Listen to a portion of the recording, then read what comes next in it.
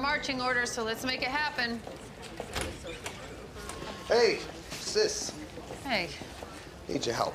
I got a, a dead girl. I got two twin brothers covering for each other because I'm pretty sure one of them killed her because I got one of their DNA on the murder weapon. wow, it's amazing. What's amazing?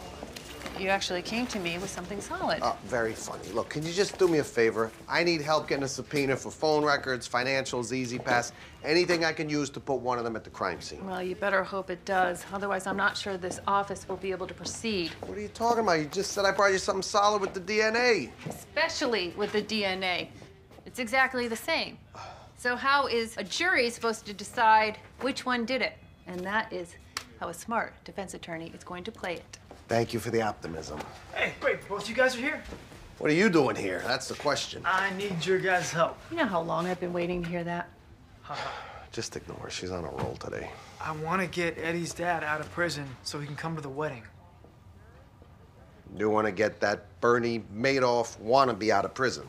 I, I know he ripped off a bunch of people, but it's still her father. Wow, kid, you, you're a better man than me, I'll tell you that. I think it's sweet. Maybe your office could put a bug in the warden's ear. And Danny, maybe you could nudge somebody down at the marshal's office to expedite a prisoner transpo. For you, for Eddie, the wedding, yes. I know a guy, I'll give him a call. Both you guys, thank you so much. Well, I'm happy to see that Eddie has worked out all the problems with her father. Well, I haven't told her yet.